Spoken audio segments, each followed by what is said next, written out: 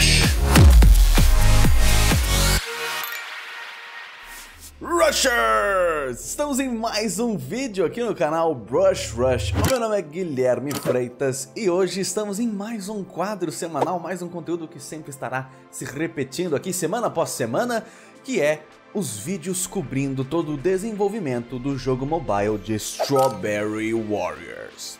E nesse vídeo aqui eu quero deixar mais claro qual é o estilo de jogo que eu tô imaginando para essa primeira versão de jogo com essa franquia que está se iniciando, né? Antes o plano era somente fazer aquele protótipo de um game 3D, aquele teste, aquela diversão ali, para que eu pudesse aprender mais sobre games e também botar para funcionar um monte de coisa que eu gostava com todo o processo de criação de um personagem 3D, animação, e eu sempre quis ter essa vontade de controlar, né, eu mesmo controlar um personagem que eu eu inventei, que eu criei ali na tela como um videogame. Foi muito legal, esse projetinho ficou muito maneiro. A gente teve muito sucesso, né? Eu consegui atingir tudo que eu tava querendo ali naquele começo. Era movimentar um personagem, fazer ele pular, fazer todas as animações para aquilo dar certo.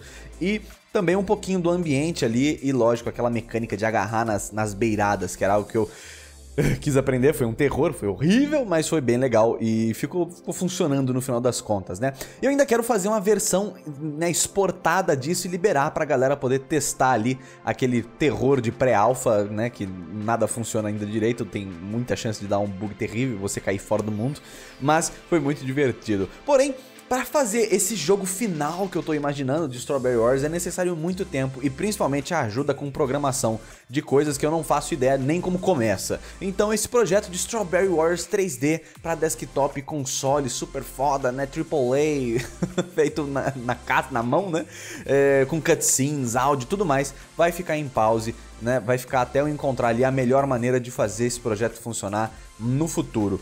Por enquanto, não vai ter avanço quanto isso. Porém, eu ainda queria dar vida a esse moranguinho e criar algo legal para vocês, além de conteúdo semanal aqui no canal. Então, agora o projeto é desenvolver um game mobile no estilo Infinite Runner.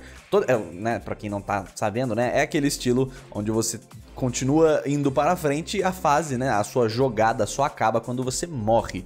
Então, vai ser todo ilustrado, todo fodão, algo rápido, viciante, divertido, porém simples, né, de produzir e de programar aqui do meu lado, né. A ideia é, além de percorrer o máximo de distância que você consegue antes de morrer, é também coletar pontos extras, itens no jogo e dando porrada em inimigos. Talvez exista ali também algum tipo de moeda no jogo para você comprar skins novas, assim, quem sabe ali do dragão branco e coisas desse gênero. Isso que vocês estão vendo aí na tela é a minha primeira experiência de tentar criar as camadas do ambiente. Eu, sou simplesmente apaixonado pelo estilo de Rayman Legends. Eu queria muito simular um pouquinho da forma como eles criam profundidade, com aquele efeito parallax e todo aquele estilo é, pintado à mão, né? A minha ideia era realmente tentar chegar um pouquinho próximo disso. Inclusive no Rayman existem pedaços né, do jogo em que você tem ali aquele modelo de Infinite Runner, só que a fase acaba, não é infinito, mas é aquele modelo onde você não pode ficar parado, senão a, a, a tela vem e te mata, né? No caso, a tela vai continuar andando sem que você tenha que fazer muita coisa, né? Como é para ser mobile, a jogabilidade tem que ser muito simples, então um dos eu vou ter dois comandos basicamente. Esquerda, apertando a parte esquerda da tela perto do personagem, você pula e apertando a parte da direita você golpeia e você bate, dá socos. É isso que eu quero fazer ali na programação. A jogabilidade vai ser basicamente essa, mas a ideia é tentar pular, se esquivar, fazer o máximo possível para você não morrer nem bater em obstáculo, nem tomar uma porrada de um inimigo, nem tomar uma, uma, lá, uma morangada na cara, qualquer coisa que aconteça assim, é, essa é a ideia, né? E por enquanto você pode ver né, que está tudo preto e branco, mas a ideia é testar como criar imagens que conseguem ser repetidas horizontalmente, né, que funcionem. Essas imagens que tem o começo e o fim, né, a, aresta a esquerda e a direita são iguais, né? elas, se, elas se conectam perfeitamente. E uma das maneiras que eu descobri para fazer isso, eu não sei se está mostrando aí agora, mas provavelmente vai aparecer em algum momento, é a ideia de você cortar o objeto no meio e jogar um dos pedaços lá para a direita e você só arruma ali a, a coisa do meio, né? O, o a, você cria uma outra coisa para arrumar, mas uma vez que você arruma, você sabe que as duas né, extremidades ali daquela imagem tá funcionando. Eu não sabia também que tamanho essa extremidade precisaria ter para encaixar na, na, proporção de tela que eu tava imaginando. Uh, eu também quero fazer uma versão desktop desse jogo para funcionar uh, ainda com mais qualidade, né? Então eu tô fazendo ele um pouquinho mais é, up na qualidade e eu vou fazer um downsize nele aí nas, nas resoluções para poder fazer para celular e coisas assim. Mas eu quero muito fazer uma versão desktop também para poder jogar no computador, só para nem que seja para ver só a boniteza do negócio.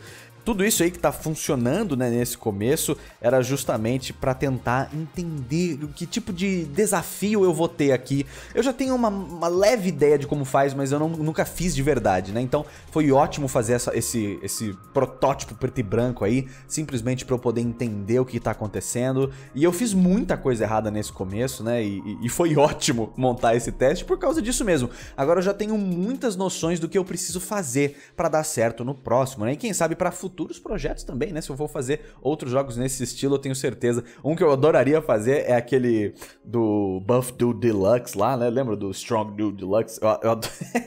Aquele lá ficaria ótimo com o estilo desse jogo aqui também. Mas Guilherme, quem que vai programar isso daí, cara? Bom, até agora, pessoal, eu tava completamente certo de que eu não conseguiria fazer isso sozinho, né?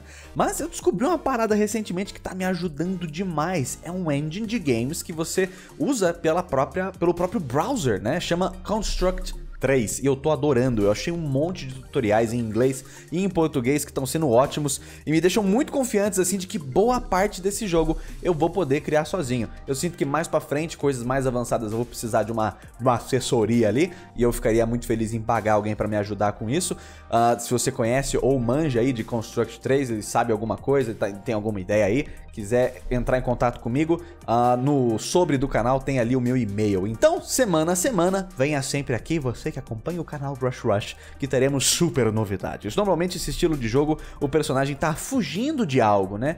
E do que será que o nosso morango poderia estar fugindo, né? Deixa aqui a sua dica, ideia, sugestão, manda pra mim aí, que eu adoraria ter mais coisas para poder inserir nesse jogo, né? Outra ideia é fazer o personagem perseguir algo ou, ou alguma coisa assim. Então se você tem alguma ideia para a história desse jogo, né? Por que, que o morango está fugindo? O que, que ele está coletando no seu caminho? Isso são todas coisas que eu ainda estou deixando em aberto. Eu gostaria que a gente pudesse resolver aqui juntos, né? Então se você tem alguma ideia, alguma sugestão, o que é que o morango está coletando pelo caminho, de quem, né, quais são os inimigos que ele está desviando. Se você tem alguma ideia, manda aí para mim, deixa a sua sugestão que a gente pode incorporar tudo essa, essa cacofonia de, de ideias para fazer alguma coisa. Né? Então mande a sua sugestão que eu estou aqui aguardando. Muito obrigado!